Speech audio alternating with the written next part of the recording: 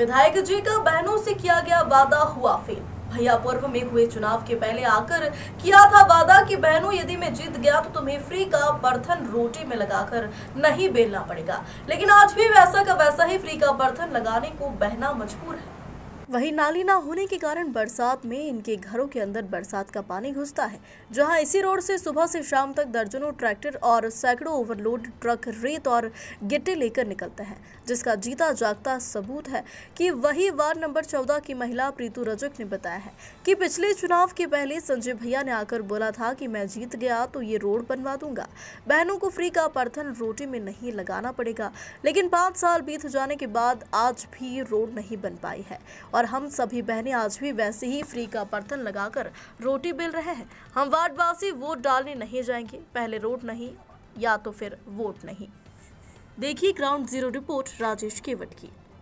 नेता जब आते हैं वोट मांगने तो बोल देते हैं। क्या बोलते हैं वो? कि हमारी बहना मान लो आप परथन नहीं लगाएँगी रोटी में लेकिन वैसे लग रहा है धूल उड़ के। कौन नेता बोला था कि हमारी बहनें रोटी में परथन नहीं लगाएँगी? अरे संजय पाठक ने बोले थे। वही नेता जब आए थे पहले पाँच साल पहले फिर आ जाएँगे वो बोलेंगे फिर आते रहेंगे वो बोलते रहेंगे। क्या क्या बोले थे? कि हमारी बहन मान लो परथन नहीं लगा पाएँगी अब रोटी में। अच्छा। तो अच्छा। वही तो लगा रहे हैं। अच्छा। हाँ। मतलब पाठक जी ने कहा था कि हमारी लाडली बहना हाँ, हाँ। रोटी में परथन नहीं लगाएँगी है ना? मतलब रोड बनवा देंगे। हाँ रोड बन लेकिन जाए आज पाँच साल बीत जाने के बाद भी अभी तक रोड नहीं बना है। हाँ आज भी रोड नहीं बनी है, न बनेगी कल। एमपी सहित पाँच राज्यों में विधानसभा चुनाव होना है। किन मुद्दों को लेकर के जनता वोट करने जाएगी? जी भाई साहब क्या नाम है आपका? मेरा नाम संतोष साकेत है। संतोष सकेत है। हाँ। जैसे कि अभी आगामी विधानसभा चुनाव होने वाले हैं। जी। विधानसभा चुनाव में किन मुद्दों को लेकर लेकर के आप वोट देने जाएँगे? विधानसभा का वोट देंगे तो हम मर रहे हैं सब जाग रहे हैं। ये रोड में धूल उड़ रहा है हमारे बच्चे लोग प्रदूषण में मर रहे हैं न विधायक जी देख रहे हैं न मुख्यमंत्री देख रहे हैं न और कोई भी देख रहा है न हमारे कोई भी कार्यकर्ता है देख नहीं रहे। तो फिर इसको इसके लिए हम क्या करेंगे? मर रहे हैं गरीब लोग। नहीं तो सरकार सरकार तो विकास की है बोलती कि हम विकास की है मध्य प्रदेश में विकास की कई खड़ी बिछा चुके हैं लेकिन क्या विकास नहीं है क्या? है अरे तो हमारे पास सरकार आज चालीस साल से छिंदिया में कौन सी सरकार बैठी है जो हमारा कुछ नहीं कर रही है? हम बैठे पागल के तरीके, हमारे घर में प्रदूषण फैल रहा है। आते हैं लोग बाग, चले जाते हैं, बोलते पानी डाल रहे हैं, हम ऐसा करेंगे, वैसा करेंगे, रोड बनेगी।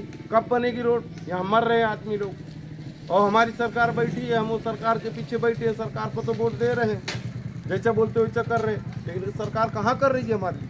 कौन सा काम कर रही है हमारे लेकिन जब भी विधानसभा चुनाव होता है, लोकसभा चुनाव होता है, चाहे नगर परिषद का चुनाव हो, लेकिन तो सबसे सबसे बड़ी बात यह है कि वार्ड क्रमांक चौदह को लेकर के सबसे बड़ा मुद्दा जो है तो कहा जाए कि रोड को लेकर रहता है, नाली को लेकर के रहता है। और ये जो रोड दिख रही है आपको सामने में, ये वार्ड बरही का वार्ड क्रमांक बारह से पंद्रह तक लगातार यही रोड जो है तो एक जोड़ती है सभी वार्डों को। लेकिन कहा जाए कि विकास इस रोड का नहीं हो पाया है।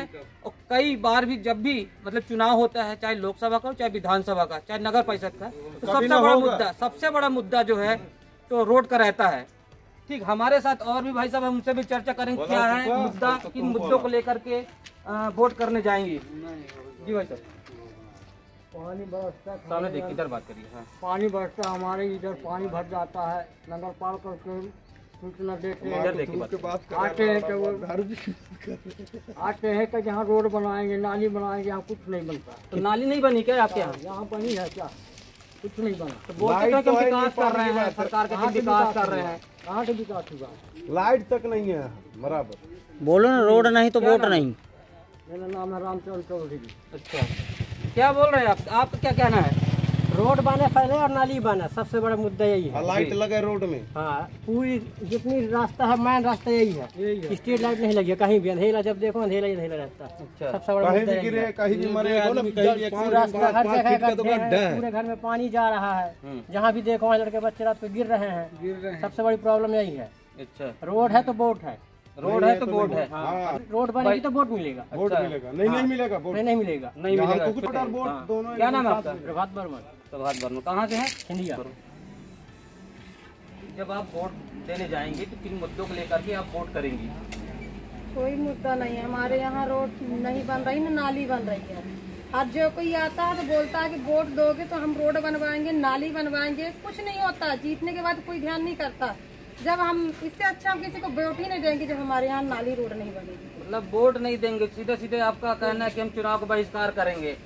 हाँ नहीं बिल्कुल नहीं। कोई नहीं देगा हमारे यहाँ सोलह चौदह वार्ड का कोई नहीं देगा वो, अच्छा। कोई नहीं जब जनप्रतिनिधि आते हैं वोट मांगने के लिए तो क्या कहते हैं वो? किन मद, किन मुद्दों को लेकर के और जनता जनार्दन सामने आते हैं? यही मुद्दा बोलते हैं कि हमको जिताओ हम वोट जीत जाएँगे तो हम रोड बनवाएँगे नाली बनाएँगे लाइट लगवाएँगे। मुझे लग रहा है बारिश होता है तो पानी यहाँ भर जाता है यहाँ तक।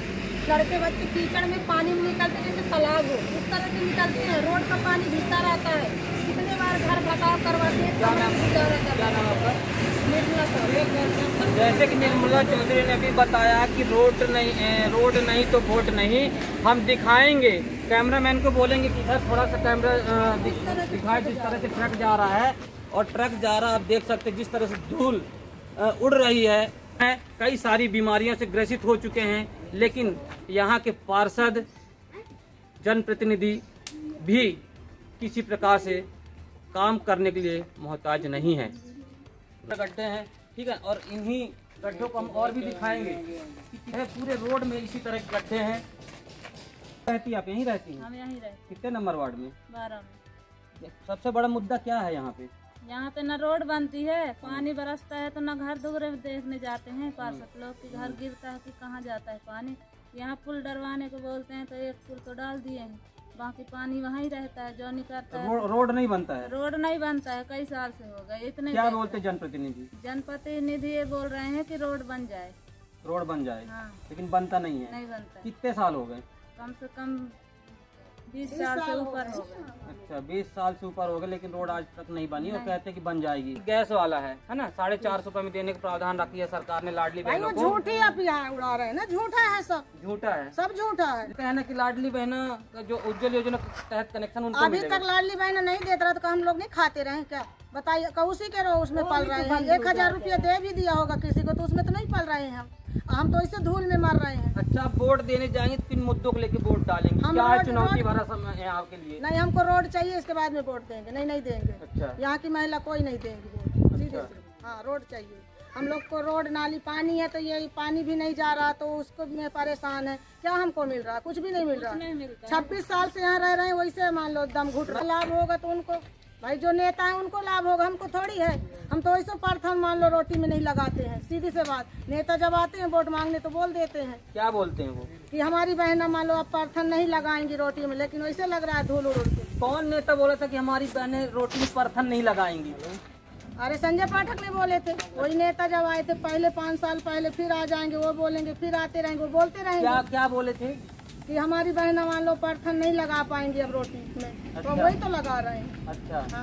मतलब पाठक जी ने कहा था कि हमारी लाडली बहना हाँ, हाँ। रोटी में परथन नहीं लगाएँगी। है ना? मतलब रोड बनवा देंगे। हाँ रोड बन लेकिन आज पाँच साल बीत जाने के बाद भी अभी तक रोड नहीं बना है। हाँ आज भी रोड नहीं बनी है। कल तो जैसे कि अभी आपने देखा है कि जनता का रुख इस बार कुछ चेंज सा नज़र आ रहा है।